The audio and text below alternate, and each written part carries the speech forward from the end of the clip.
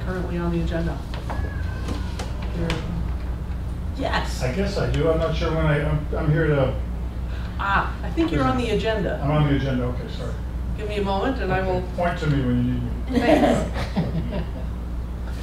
now I'll open, there being no such public comment, I will now open the public hearing on the permit application.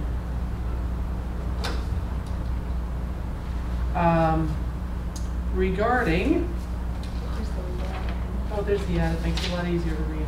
Um, Special permit request for a detached accessory dwelling for Nerissa Nields, Thomas Nields Duffy at 415 Prospect Street, Northampton, map ID 24A, lot 103.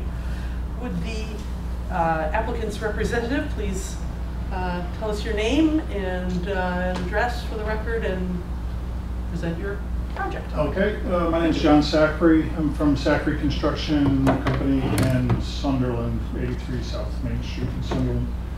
I'm here tonight um, to uh, present this project to you, and unfortunately, the owner couldn't be here. She'd like to be, but she had tickets to uh, Hamilton in uh, New York City, and so, sorry about That's the right Uh, choice. And then the architect, Emily Estes from Northampton, is uh, on vacation, so. um, It's left to you. Thank you. Uh, So, uh, we, Nerissa Nields and her husband Tom, uh, live at um, the properties right next to the uh, Pease, where Pease Funeral Home used to be, right up near the hospital there on Prospect Street. Um, And their house is currently, you probably may not be able to see it here, but this is their house. And they have a driveway that comes along, and then there's parking back in here. Uh, They have an existing little outbuilding in the back that uh, would be uh, removed, uh, and they'd like to put an accessory building in, a 900 square foot, less than, less than or equal to 900 square foot uh, habitable space in a um, accessory building that would look something like this. One story, uh, full cellar, the cellar would be for storage only. Um, and It would be used for extended family uh, use for the most part, although uh, Marissa does, uh, she is a um, musician as well as a uh, creative writing instructor, and so she has people who come uh, occasionally to um, do creative writing exercises. And she would like to use the common area in this, in the proposed space for um, small group um, gatherings for the creative writing, um, as well as for her, mostly for her parents, uh, to use on the vacation times and whatnot, you know, so they'd like to build this building pretty much where the old barn used to be. Um, I think right now it's URA, this neighborhood is URA. Uh, Although it may be, re- I heard it might be reclassified as URB at some point, but who knows? Um, So that was basically the idea. Um, That she's not planning on doing any Airbnb. The writers don't stay overnight. Um, The the writers that she might have is under 25 visits a week. Uh, It's a they're, they're calling it a family member guest house. Um, I think that's about all that I had here, though. We checked the sewer with the city, because it is kind of a long run from here to the, um, uh, street. We were concerned about grade, uh, issues here. Um, we think we can make them the seven foot two invert at the sewer line with the street. Um,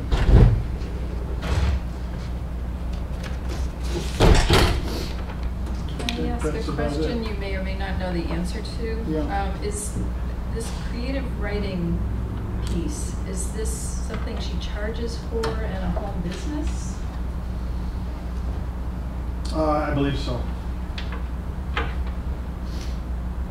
I um, share a question about that, and it might be a question for Carolyn more, is, um, from the description in the original um, application, the original request, looks like her immediate need is, immediate goal is to have an opportunity for a workspace for her music.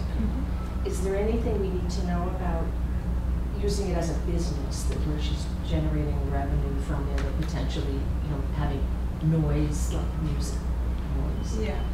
So, the zoning allows for um, people to have, um, as an accessory to their um, residence, a a home business um, by right with um, up to 25 trips per week.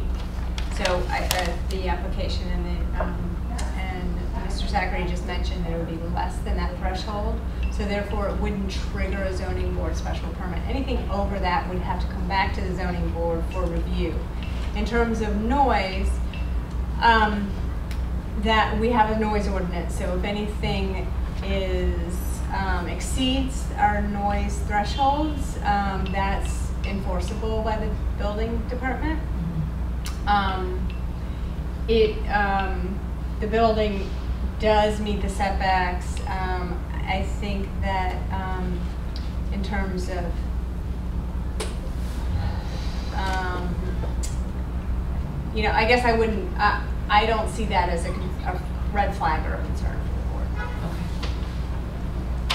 Although, not that we need to, but if we wanted to impose time restrictions, Well, the zoning has established time restrictions um, in which the by right um, provisions for home business um, are stipulated. So if they, if anybody, and it's, it's across the board, so anybody who wants to participate or have a home business, they need to follow the by right standards. Otherwise, it would go up to you all as a special permit request. And similarly, anything else related to business like signage. Right, and there's a very, there's a, there's a tiny sign allowed, well, two square foot sign allowed on the face of the building. This is way in the back, so, Oh, on the Um, face of the building, yeah. not on the street. no. Um, and my other question, also for Carolyn, um, is if, if the city does change it, mentioning to URB, would this even have come on our agenda? It would actually, um, so if it had been urban residential B, a detached, um, separate dwelling unit triggers a planning board site plan. So it would be a different kind of permitting. So they'd still have to request a permit. Yeah.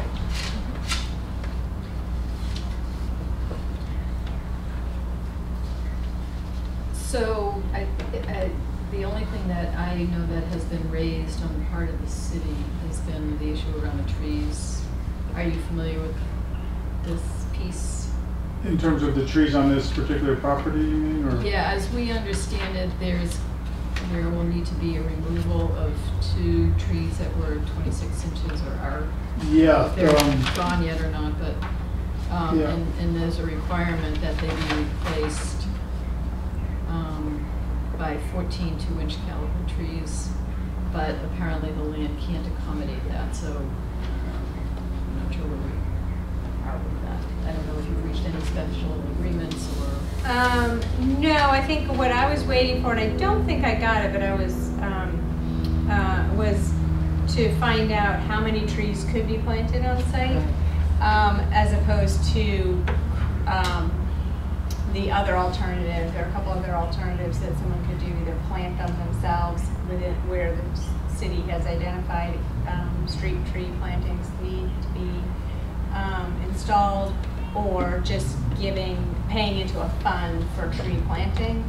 So it's, um, it's not out of the ordinary, I mean, this is a fairly new ordinance, but it's not out of the ordinary for applicants to, um, make sure they've identified the very specifics before they request a building permit. So I would just say, I would flag that as a permit condition, so that we know exactly how many trees are either being planted off-site or how much money is being paid to the city to accommodate trees to be planted off-site versus trees that can be planted on-site. Can you speak to that? Oh, a little bit. Uh, I guess I have a question too. Um, uh, they, Nerissa had, we had talked about this with the trees. Uh, they were looking at, like, we were thinking it was like twenty-eight inches total or something. um, Which would be 14 two-inch trees. It sounds about what you guys are talking about. I think she was inclined, and I don't know if they figured this all out yet, because there's a certain list you picked from, isn't there, of Yeah. trees that you guys like to have? Um, She was hoping to take advantage of those on her own property if she can fit them on there. Uh, But I think she would have to talk to Mr. Parasiliti about that, probably, right? Was that who? Oh, no? No, I mean, it, it's basically, you don't need permission from the tree warden to plant on the site. What you need, what the applicant would need to do is, um, document how many trees, what size and what species. It comes to our office and we just Oh. make sure there's compliance with the code. there's- So it's preferable for the property owner to do the planting. Yeah. um, a- as opposed to giving, either giving money to the city or planting elsewhere. Um, so that's fine, we just need documentation. Okay, well, she, so I think that would be before you said, as you said, before the building permit was issued, that would be a condition for the building Yeah. permit to have that sort of approved. Right.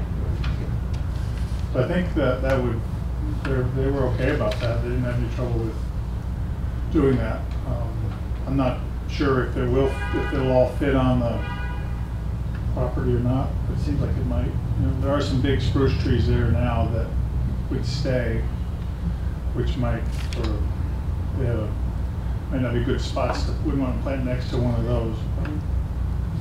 So would you need like a landscape, uh, plan for that, some sort of a plot plan that shows where the Yeah, trees are good? so the site, um, and then show what, what type of trees and where they're gonna be planted Okay. and how many. Yep, Um, and then uh, it would probably be helpful to have a table as well to show the trees that are coming down, what size they are, and the corresponding replacement, um, Okay. trees.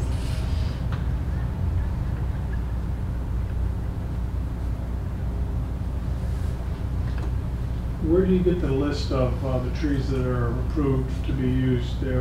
Um, we have a link on the planning office's, Okay. um, homepage for, um, under the planning board, actually, there's a link for the tree species. Okay, But you, you know, if you can't find it, you can just email me. okay. Is this a, a common process where we, if you can't accommodate that, that you can pay into whatever the fund is to have trees, other trees planted?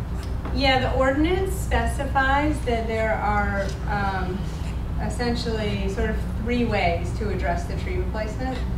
And one of those is to pay the city the amount. But the city needs to approve the amount because it's not, it's not codified because we want it to last, you know, for years. So the costs may go up or down or whatever. So um, if someone is going to pay into the fund, they have to show what the cost is. We have to approve the values basically that they've identified for that. Well, I thought there was like a set cost per inch of the Mhm. trees. Because it depends on the tree and, um, you know, what size, because sometimes you get a two inch, sometimes you get a three inch. Uh, the minimum is two inch. So if you're, if you spec out, right, so if you spec out, you know, fewer larger trees, Right. the cost will be different. And then the potential maintenance, you have to guarantee that there'll be, you have to put, put in money to maintain the trees for a two-year minimum window to make sure they survive. Okay. What about if this is URBs, URB, same thing? Tree replacement requirements are across the board throughout the city. Okay, thank you. Any other questions from the board?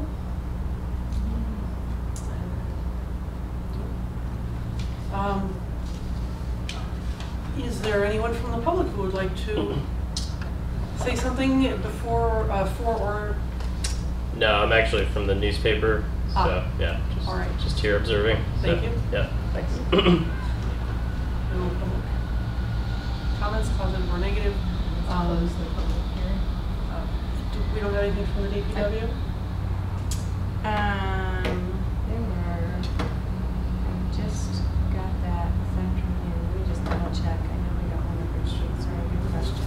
The the sewer line hookup must be of interest to DPW, right? Yeah, and that's sort of, I I mean, even if they didn't comment on it, um, that's, they would have to approve any hookups to the city line anyway, so, even if you, the board didn't review it and didn't put a condition on it, But if It's- they built this place and then you couldn't hook the sewer up to it, right, but then we, so the way the building permits work is that you have to show water and sewer availability before you get your building permit.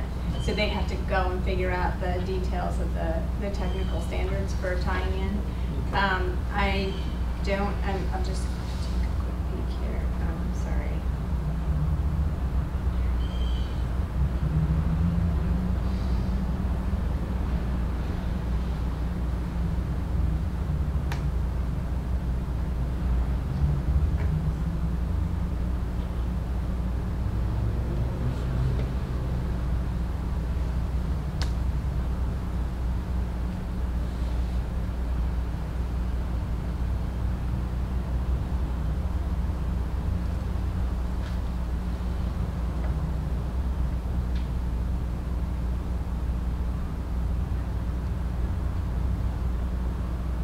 Radio silence. Yeah, okay, so.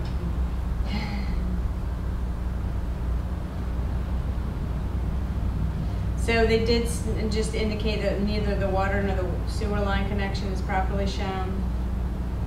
Um, so, um, it, it, and they're stipulating there has to be a clean out at the property line if there's gonna be independent sewer service from the main house. There has to be what?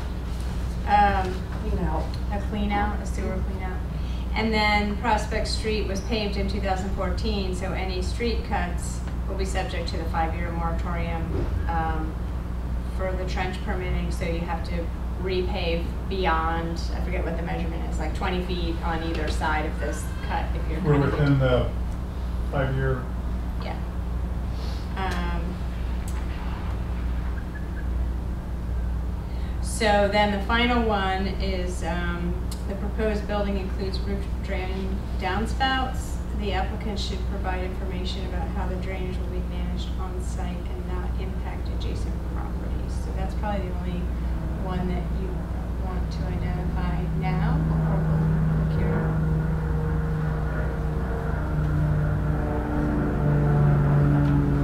Um, On your plan, we see downspouts. Um, They can't be hooked into the sewer. Is there any particular plan on dealing with stormwater? It does- Uh, doesn't At look like this the moment, they haven't done any like permeability studies for the soil or anything, so I don't know if dry wells would work uh, in terms of running the downspouts to dry wells. I think we're, uh, so there hasn't been a lot of work done on that at this point. It looks like they're just uh, discharging onto the ground. Yeah. Um, I see the, the size,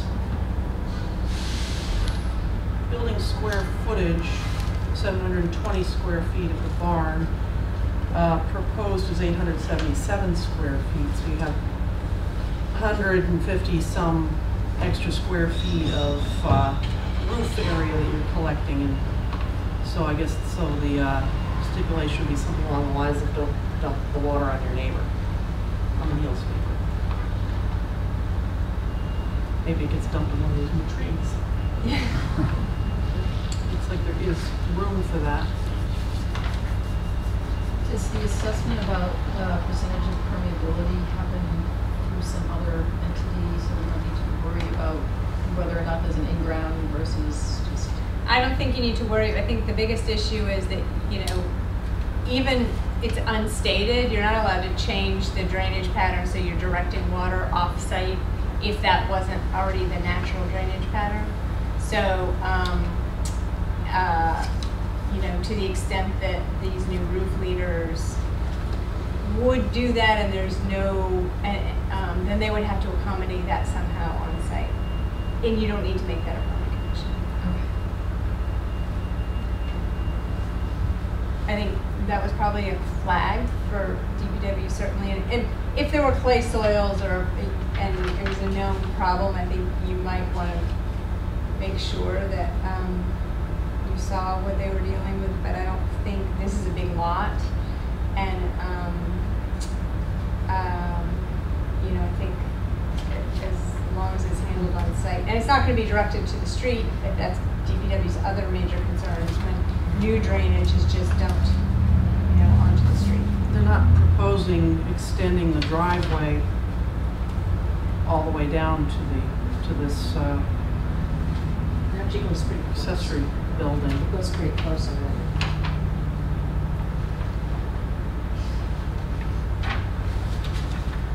Right, any other questions? Have a motion on the hearing? Motion to close the public hearing. Second? Please. Go ahead, Mary. Are you second? Thank you. Uh, all in favor? Okay, we'll close the public hearing. Uh, and now any more discussion before formulating a motion with or I have one, conditions? Carolyn, I was, uh, I'm sorry, I'm just a little bit confused on the drain spots. Are we okay? We don't need to do any condition around that? Um, it can't we- hurt, but I don't think that, you know, if you, um, you can just reiterate that drainage shall not be directed off-site. Okay. All right, so, um, do you want to do a motion? Uh, You want me to do I'll stall, I'll s- I'll Okay. stumble through it. Go for it. Um, Is this a motion for a vote? We have to Yes. put the mo, yeah, uh, for what we're going to do, yeah. approve or not. Um, I, will make the motion that we vote to approve this request with a couple of stipulations, a couple of conditions. One being that the, the applicant, the property owner, uh, come to agreement with the city about the tree request. Prior to a building permit? Prior to a building permit? prior to a building permit, thank you. And that we, um, reaffirm that the drainage, the downspout drainage needs to stay within the property, that they need to direct it within the property. And I think those are only considerations. May I make a friendly amendment? Instead of tree request, we say tree requirement. Tree requirement, thank you. And with that, I would second. All in favor? Right? Congratulations. It's approved? Yes. All right, great. Thank you. Thank you very much. Thank you. Thanks for coming down here. I'll let her know before she goes into Hamilton. We don't want to hear that one more time. No, I don't want to hear. it. So she can pick up a few more tickets. Yeah. Kidding, only Any, uh, already granted it. any minutes or anything to? Uh, I don't think I sent minutes out. I No, put you them on the didn't. agenda. so- Um, I don't think so. Do we have another meeting next date? Um, there is a permit that came in for September, thirteenth. Fourteenth? Um, it's at five thirty. Um, I think it's gonna be ready to put on the agenda, so I just have to finish reviewing My birthday, it. Ooh. Excellent. We'll have to do something. I'll be thirteen. I believe, I believe you, anything. You get Take a- wish for your birthday, Bob.